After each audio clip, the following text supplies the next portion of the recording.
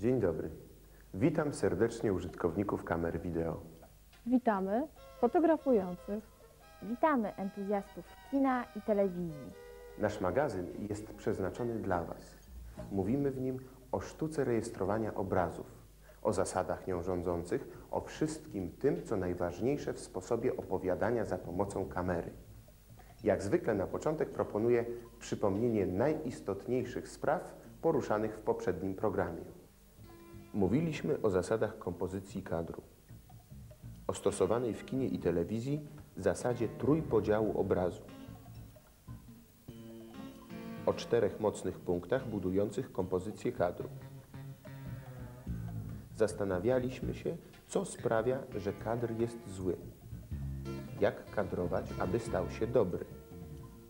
Rozważaliśmy, kiedy jakaś kompozycja jest przypadkowa i chaotyczna, kiedy uporządkowana, a kiedy uporządkowana i logiczna. Mówiliśmy wreszcie o znaczeniu emocjonalnym ruchu od lewej strony ekranu i tym od strony prawej. Co to oznacza w odczuciu widza? Dziś podejmujemy ciąg dalszy problematyki kadru. Będziemy się zajmować planami filmowymi. Najpierw spróbujmy określić, co nazywamy planem filmowym. Co to jest plan? Najprościej możemy powiedzieć, że jest to fragment przestrzeni ograniczonej ramami kadru. Jest to więc obraz widziany w wizjerze naszej kamery bądź na ekranie. Czym zatem różni się plan filmowy od kadru? Jak powiedzieliśmy poprzednio, kadrem jest każda przestrzeń ograniczona ramą. To znaczy możemy powiedzieć, że widzimy coś na przykład w kadrze okna lub drzwi, że obraz na ścianie jest kadrem tak, jak jest nim również każda fotografia. Ale kadr okienny zależy od kształtu okna, które może być na przykład okrągłe. Obraz może posiadać dowolne proporcje, tak samo jak fotografia, którą możemy dowolnie przycinać. Raz będzie pionowa, kiedy indziej pozioma. Plan filmowy to oczywiście zawsze jakiś kadr, ale tylko kadr o proporcjach przyjętych dla filmu i telewizji. I wreszcie rzecz najważniejsza. Plan filmowy posiada jakiś czas trwania. Od momentu uruchomienia kamery aż do chwili jej zatrzymania. Występuje więc pojęcie długości, określane czasem jego przebiegu. Kadr widziany w wizjerze kamery stanie się planem dopiero wtedy, kiedy go zarejestrujemy poprzez uruchomienie i zatrzymanie zapisu obrazu. Można więc powiedzieć, że każdy plan filmowy jest jednocześnie kadrem, natomiast nie każdy kadr jest planem. Plany filmowe posiadają swoje nazwy określające w sposób precyzyjny, jaki fragment postaci lub przestrzeni, na której rozgrywa się akcja, będzie widoczny na ekranie. Nazwy te w sposób, tak jak już powiedziałem, bardzo precyzyjny określają nam, jaki fragment filmowanej postaci zobaczymy później w zmontowanym filmie. Inaczej mówiąc, pokazuje nam, czy widzimy naszych bohaterów z daleka, czy też z bliska. Znajomość planów filmowych jest sprawą bardzo ważną. To od niej zaczyna się świadome patrzenie na kadr filmowy. Przeważnie cokolwiek filmując, jesteśmy zmuszeni pokazywać tylko część fotografowanej postaci. Gdy filmujemy z bliska, obcinamy jakiś fragment interesującej nas osoby i często nie zwracamy uwagi, gdzie przebiega linia cięcia, rama kadru.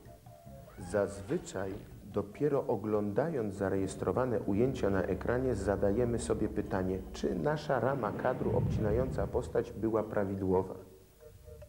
Nie trudno nam się domyślić, że tak, kadrować nie powinniśmy. Kino prawie od początku swojego istnienia na drodze prób i eksperymentów wypracowało na swój użytek wzorzec kadrów o określonej linii cięcia sylwetki, kiedy ta nie mieści się w całości w ramce. Ten sposób cięcia został niebawem zaakceptowany przez inne dyscypliny plastyczne, szczególnie fotografię, i stał się wkrótce obowiązującym kanonem estetycznym. Dziś każde odstępstwo od niego budzi nasz wewnętrzny sprzeciw.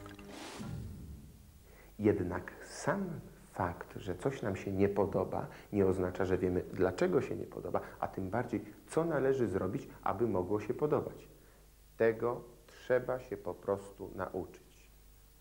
Popatrzmy więc na pełną skalę planów filmowych. Postarajmy się zapamiętać ich nazwy i funkcje, jakie spełniają w kinie. Plan bardzo szeroki, nazywany total, pokazuje naszych aktorów w przestrzeni najszerszej z możliwych do sfotografowania.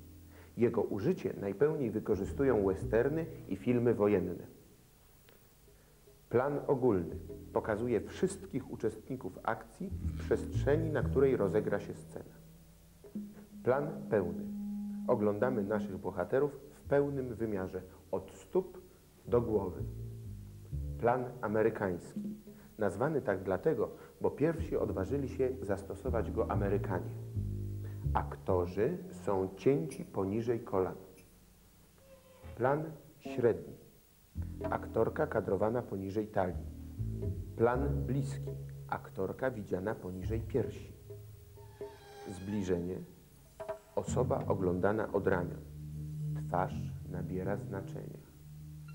Duże zbliżenie. Fragment twarzy. Oczy i mimika mogą wyrazić całą gamę uczuć i emocji. Detal. Z bardzo bliska kadrujemy znaczący przedmiot lub fragment dekoracji albo rekwizytu. Poznaliśmy pełną skalę planów filmowych. Nie trudno nam było zauważyć, że plany szerokie, filmowane z oddalenia, trwały znacznie dłużej niż plany bliskie. To oczywista prawidłowość. Patrząc z daleka, potrzebujemy więcej czasu, aby dostrzec wszystkie istotne szczegóły. Im jesteśmy bliżej, tym potrzebujemy go mniej. Jeżeli o tym zapomnimy, widz może nie zrozumieć, o co chodziło nam w trwającym zbyt krótko planie ogólnym lub zacznie się nudzić, oglądając zbyt długo plan bliski. Popatrzmy jeszcze raz na te same plany filmowe, zmontowane tym razem w jednakowej długości, trwającej 4 sekundy każdy, a w dodatku połączone w innej kolejności. Plan ogólny. Plan amerykański. Zbliżenie. Total. Duże zbliżenie. Plan średni. Plan pełny. Detal. Plan bliski. W tej wersji raz brakowało nam czasu, aby dostrzec szczegóły, to znów mieliśmy go za dużo. Zapamiętajmy więc tę prostą zasadę. Im plan bliższy, tym trwa krócej. Przy okazji należy wspomnieć o kolejności planów w montażu. Prawie nigdy nie montujemy przechodząc bezpośrednio z planu na plan w porządku określonym skalą planów, od najszerszego do najbliższego lub odwrotnie. Zwykle przeskakujemy co najmniej jeden szczebel naszej drabiny. Montaż jest wtedy ciekawszy, bardziej dynamiczny. I jeszcze jedna sprawa, bardzo ważna. Kąt widzenia kamery przy zmianie planów. Popatrzmy na działania Isi i Moniki. Tutaj kamera stoi w tym samym miejscu, a zmiana planów odbywa się za pomocą zmiany ogniskowej obiektywu. Mimo prawidłowego operowania planami, za każdym razem dostrzegamy pewien skok w obrazie. Ten przykład zwrócił nam uwagę na ważną zasadę. Nazywamy ją regułą 30 stopni. Aby zmiana planu następowała w sposób najmniej dostrzegalny, kamera powinna zmieniać swój punkt widzenia o co najmniej 30 stopni. Tylko wtedy taka zmiana jest umotywowana. Ukazuje nowe elementy obrazu i pobudza nasze zainteresowanie. Nasze dotychczasowe rozważania dotyczące estetyki obrazu filmowego są niezbędnym wprowadzeniem zagadnienia sztuki operatorskiej. Będziemy do nich wielokrotnie wracać, omawiając już działania praktyczne związane z realizowaniem filmów na wideo. Każdy wideoamator jest jednocześnie operatorem, reżyserem i dźwiękowcem. Im prędzej pozna minimum zasad rządzących każdym z tych zawodów, tym szybciej osiągnie sytuację, w której nie będzie się cieszył z tego, że akurat coś mu wyszło, lecz z tego, że zrobił to, co chciał zrobić, że zrobił to dobrze. Proszę Państwa, tak jak zapowiadałem na początku, Wideopasje będą prezentować Państwu co ciekawsze egzemplarze sprzętu wideo. Co roku na rynku pojawia się kilkanaście nowych modeli kamer, magnetowidów oraz sporo sprzętu do montażu i udźwiękowiania. Wielcy producenci konkurują między sobą w liczbie oferowanych nowości, które nie zawsze różnią się wiele od poprzednich, a ich wprowadzenie na rynek dezorientuje już samych sprzedających. Osoba, która dopiero co zamierza wybrać dla siebie odpowiedni sprzęt, jest w bardzo trudnej sytuacji. Zazwyczaj, kiedy decydujemy się na wybór kamery, stajemy przed kilkoma dylematami. Po pierwsze, jaki wybrać format? Czy ma być to VHS czy V8? Po drugie, czy ma być to kamera miniaturowa wielkości i wagi aparatu fotograficznego, czy też może y, kamera duża, zbliżona swoim wyglądem do kamery profesjonalnej, opierana na ramieniu. Po trzecie, zastanawiamy się, czy czasem nie warto zapłacić więcej, y, aby kupić sprzęt, y, który posiada doskonalszą technologię rejestrowania obrazu i dźwięku, a więc czy ma być to Super VHS albo Hi 8. Po czwarte wreszcie, która ze znanych firm zapewni nam sprzęt najdoskonalszy. Aby odpowiedzieć na każde z tych pytań, musimy przede wszystkim określić swoje potrzeby i oczekiwania związane z filmowaniem na wideo. Nie jest to takie proste, zwłaszcza kiedy dopiero wkraczamy w ten nieznany świat obrazów i dźwięków rejestrowanych na taśmie magnetycznej. Wszystko wydaje nam się jednakowo proste i skomplikowane. Skomplikowane, bo, bo prawie nic nie pojmujemy z funkcjonowania kamery. Proste, bo wiemy, że rejestracja może odbywać się automatycznie, a nasze działania ograniczą się tylko do włożenia kasety, uruchomienia kamery i filmowania. Zawsze coś tam później będzie widać i słychać. Jeżeli jednak na samym początku uda nam się określić swoje cele związane z wideofilmowaniem, to nie tylko wydamy znacznie mniej pieniędzy, ale również unikniemy wielu pułapek i rozczarowań. Zwykle, kiedy decydujemy się y, na zakup sprzętu, którego funkcjonowania dokładnie nie znamy, a posiadamy wystarczające środki, decydujemy się na zakup sprzętu najdoskonalszego, wierząc, że będzie on dla nas najlepszy. Tymczasem nasze założenia nie sprawdzają się. Sprzęt najdroższy, najdoskonalszy bywa bardzo często najtrudniejszy w obsłudze. Odwrotnie, sprzęt najprostszy bywa najmniej zawodny, a jego obsługa nie sprawia nam większych trudności. Znacznie trudniej popełnić błąd manipulacji.